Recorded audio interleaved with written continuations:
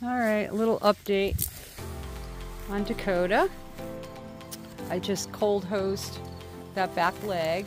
It's not the one closest to us, it's this one. This is the one that got, um, you can see it shaved.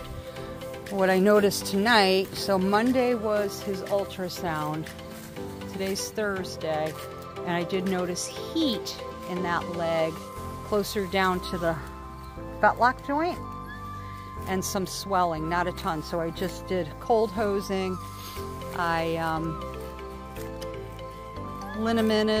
and um, gave him a dose of Banamine because we're waiting on the Equioxx to get here. And so while we wait, it's going to be a few more days. He can just have his Banamine for the time being. He ended up with a little sore right near his stifle, and that's from rolling because he had his sheet on. I don't know about you, Dakota, you little stinker.